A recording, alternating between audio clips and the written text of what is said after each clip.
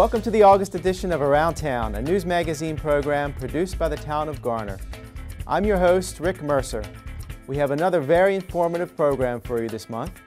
First off, we're going to take a look at a new program by the Garner Police Department that uses mapping and data information to help the police department more effectively deploy their resources. Let's take a look.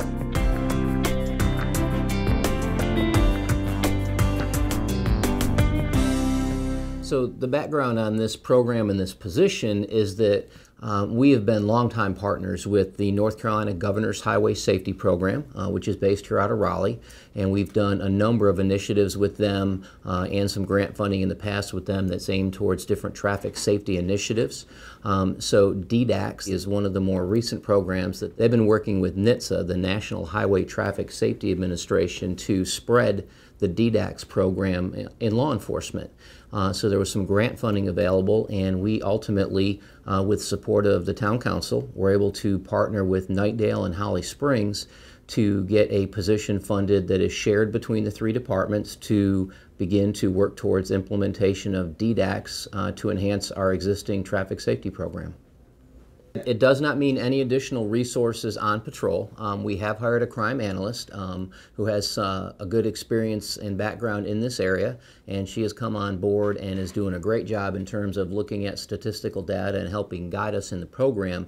Um, but what we're trying to do is rather than use more resources, is use the ones that we have more efficiently and more effectively um, because certainly in today's day and age, you want to always get the best bang you can out of your buck, if you will, um, with the budgets the way they are. So what this means is trying to look at where's the crime, where are the traffic violations occurring, and can we have our officers, as they have that proactive time available for enforcement, among other things, to be specifically in those areas, sometimes even at specific times of the day, specific days of the week, um, that are identified as what we refer to as hot spots, or in that case, hot times. Um, for officers to be present, not only to take enforcement action, um, but certainly also as a deterrent to crime and to traffic safety violations that ideally will make uh, the community safer and uh, a better place to be. And I certainly appreciate that people could be concerned that this might mean do I have less police in my neighborhood? And that's absolutely not the case. Um, we are certainly not giving up on any area of town. Uh, this is a trial period that does focus on one area, um, but we'll be moving that around over time in the coming months and years to make sure that we continue to track um, where those hotspots are but it also means that we have other resources that remain committed to our neighborhoods and to the different areas of town uh, for both reactive, i.e., calls for service, but also for proactive enforcement. Um, what we want to do is continue to spread that out as best we can, but make a little better use of some of that additional free time that the officers may have to be proactive by guiding them uh, to a specific location where we think we can have the greatest impact. Well, I think simply put is that criminals don't like blue lights, quite honestly. So that's sort of the, the one line thesis, if you will, behind DDACS is that if you can put police in an area where crime may be prevalent or more likely to occur, that's going to do several things. One is it's going to deter people that might otherwise commit crimes if they think that they're more likely to be apprehended. Um, that's one of the best tools we have is to let them see the police and feel like they're not safe to commit crimes. So that's an advantage. And then also having the visibility in those areas in terms of traffic enforcement also tends to help so that we can uh, look at, again, the right times of day, the right type of violations. And we're also going to do that to try to educate not only the public, but also our officers to be looking at okay, if this intersection is a high crash intersection, why is it a high crash intersection?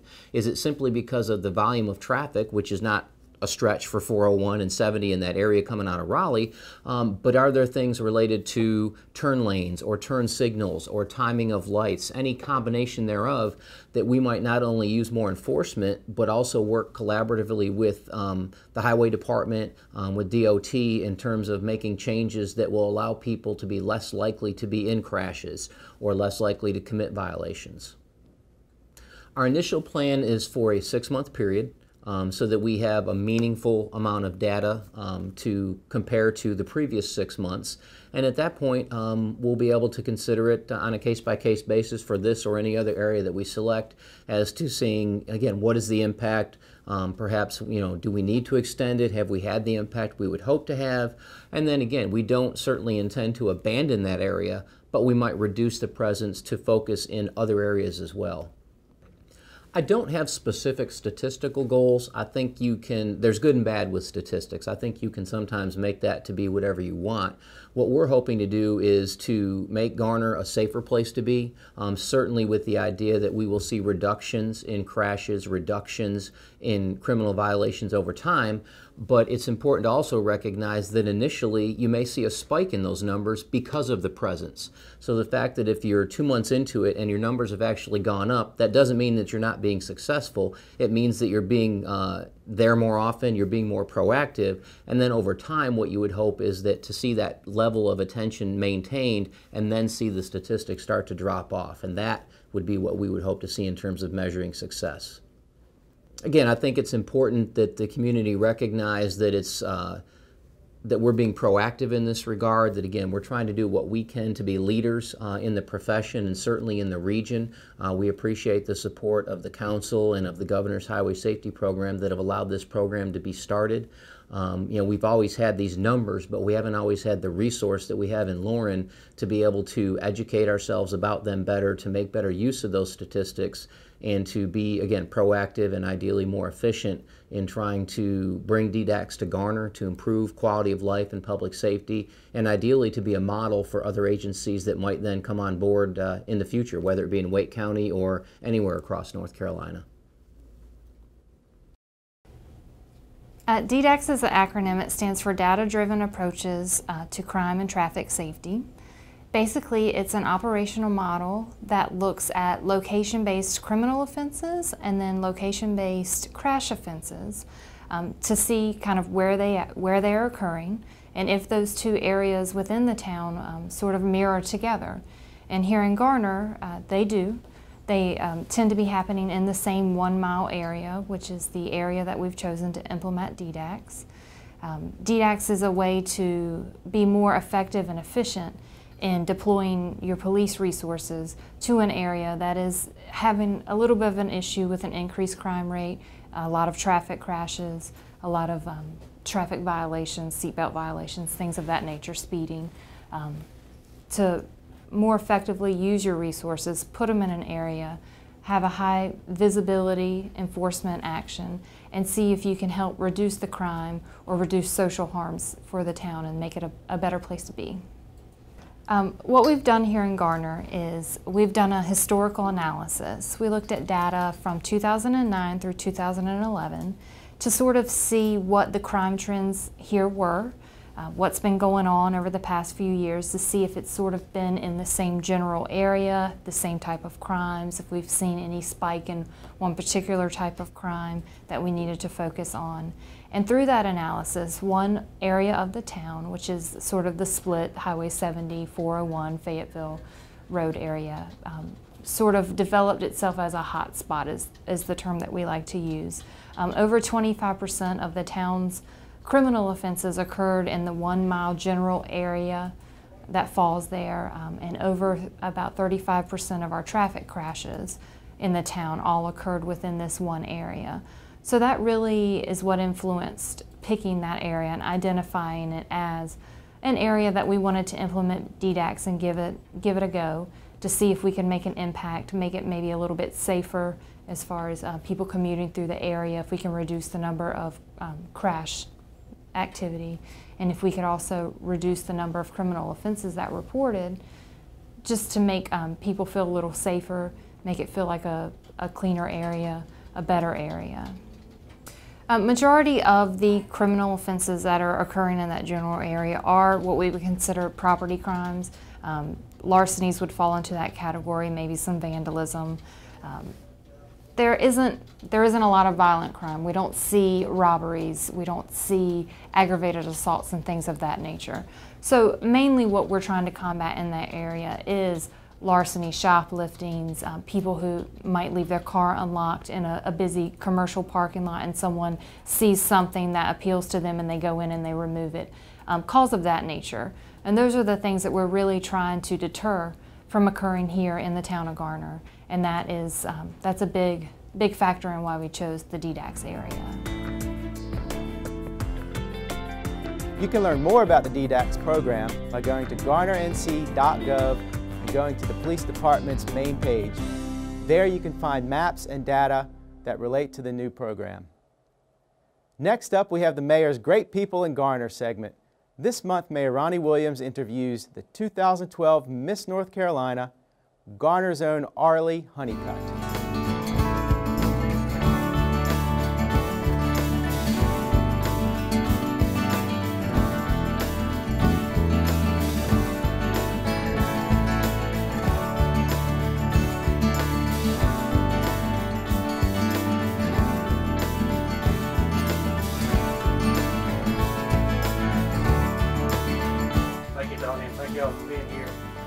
Yet another great day in Garner.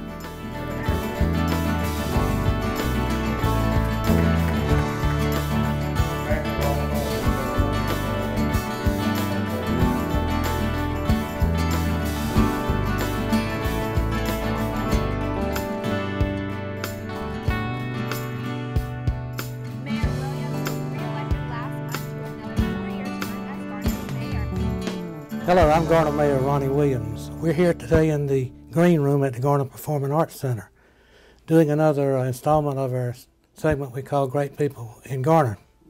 With us today, I'm very honored, very proud to, to introduce Miss North Carolina Arlie Honeycutt. Harley, welcome to the show. Thank you for having me. And congratulations on your winning the crown. Thank you.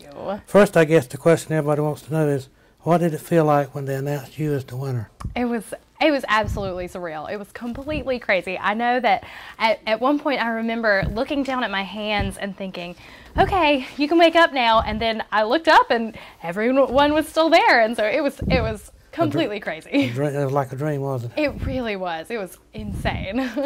Arlie, you're quite young, but you've been involved in performing arts for a long time.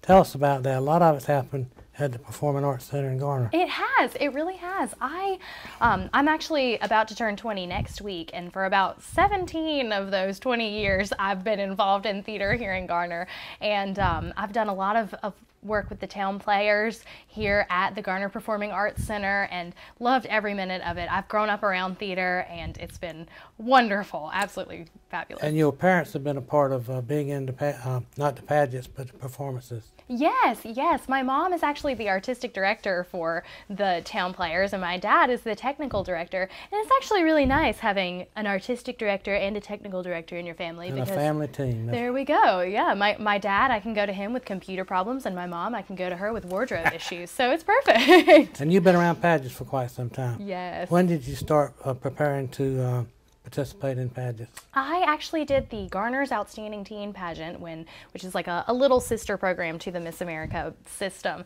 And I competed in that when I was 14, just did it on a whim, knew there were scholarships involved, and there were also going to be a lot of great opportunities to perform for the winner, and just did it for fun and kind of got bitten by the bug. this may be a strange question, but since being crowned Miss North Carolina, how has your life changed? It's been it's been a whirlwind of activity since the moment they put the crown on my head. I actually have um, started living in Raleigh. There is a fabulous sponsor that provides an apartment for Miss North Carolina for the year, so I'm right next door in Raleigh right now, and just going and going. I I live there, but I don't do too much staying there. there. Lots of appearances all over the state of North Carolina. The Miss America pageant's in January. Yes. How are you preparing for that? Well, lots of polishing at this point. Um, you know, there's all of the, the fun things, the shopping, the meeting different people to, to have wardrobe consultations and things like that. But there's also that hard work. I've got a personal trainer trying to get me ready for the swimsuit portion of the competition, you know, polishing interviews and, and really just trying to be the best state title holder I can be and hopefully eventually be the best Miss America I could be. We're, in, we're uh, supporting you platform. Tell us about your platform. Well, my platform is the Domino Effect, which aims to inspire volunteers on one person at a time. And so I've been doing a lot of work ever since I was Garner's Outstanding Teen. I've been doing volunteer work here in Garner, North Carolina. I started the Henry Sanchez Memorial Scholarship Fund at the GPAC for Town Players shows, which sends kids to their summer camp every summer by their teens raising funds um, with selling concessions during the intermission. And so it was really exciting for me when I went off to college. I'm a student at East Carolina University to kind of step back and see the kids who had started as scholarship kids move up and start raising funds for the next generation of youngins who want to get involved in this camp. And so it really inspired me to see that that domino effect and I joined the East Carolina University Ambassadors when I got to school, which is a volunteer organization, and saw there are so many different ways to get involved. And the key is really to tap into your personal interests and then apply them to make a difference in your community. So that's what I hope to travel around and promote. And I'm glad year. you mentioned East Carolina. You're a student there. Yes. But that has been put on hold for a while. It has, it has. I actually will take a year off this year to do the full time job of being Miss North Carolina, but I'll return to school with over $16,000 in next fall. Where do you see yourself in five years?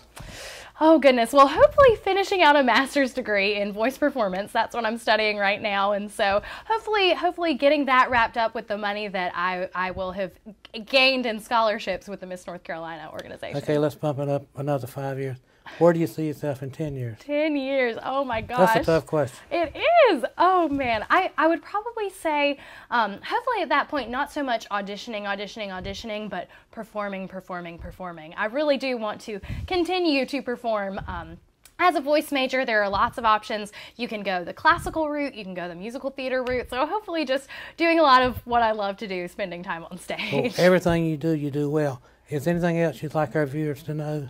Just just thank you to the town of Garner especially. Everyone has been so wonderful and so supportive in the past few weeks. I I'm telling you if you don't know or don't feel like you're loved all you have to do is go and win Miss North Carolina because holy cow I I have been just overwhelmed with the support. So thank you. Thank you and thank you to everyone in Garner who has sent a kind word my way. I so appreciate it. Arlie, we, we've started this interview a little bit early. We've got a little time to fill. Would you honor us with a song? Do you feel like singing? I would love to. I would love to. I, I say let's let's do it on the GPAC stage. There's no better place to sing in Garner. That is wonderful. we, we'll make arrangements. can't carry. I'm right up the road.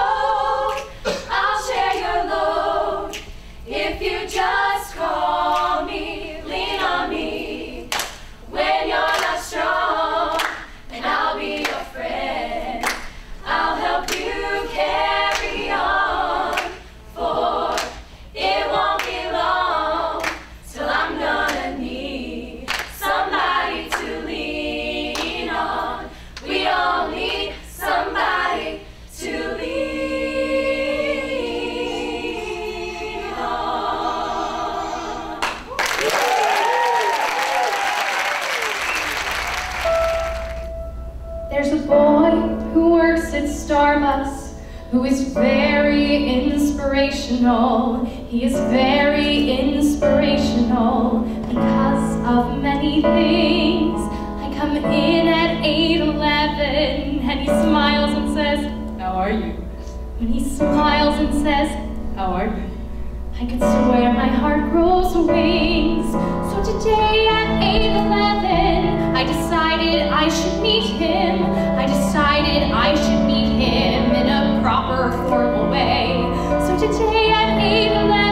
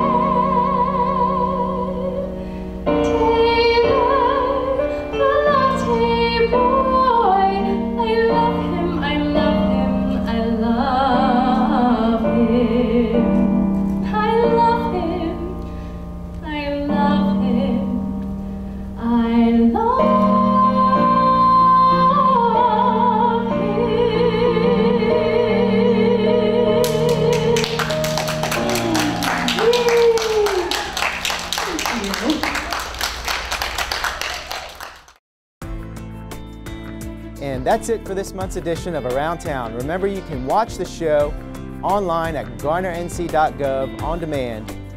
Thanks for watching. I'm your host, Rick Mercer.